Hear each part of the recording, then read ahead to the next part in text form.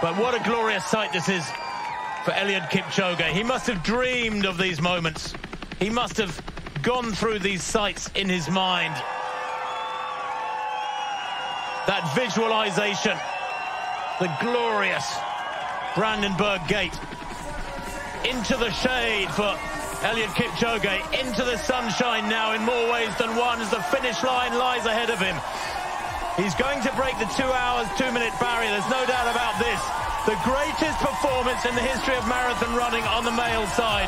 Paula Radcliffe's mark remains untouched by anybody so far. This is Radcliffe-esque.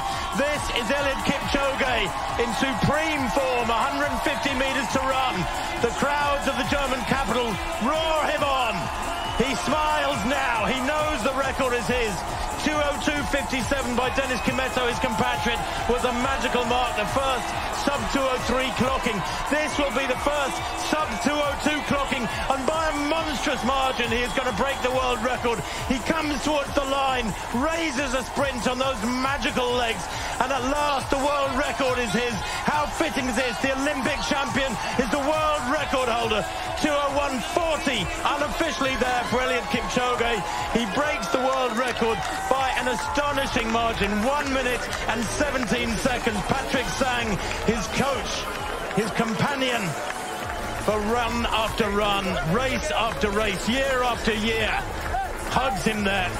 And history has been made in Berlin 2018 in astonishing style.